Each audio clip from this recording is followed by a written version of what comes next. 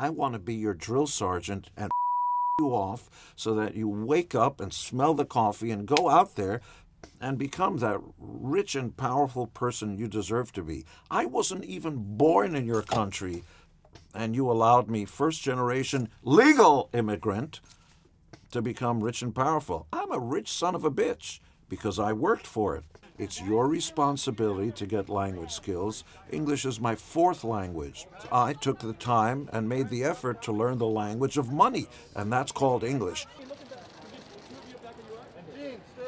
I don't need assistance or anything. I'm vibrant. I'm alive. I like to use it. Can I retire and do nothing? Could have done that 30 years ago.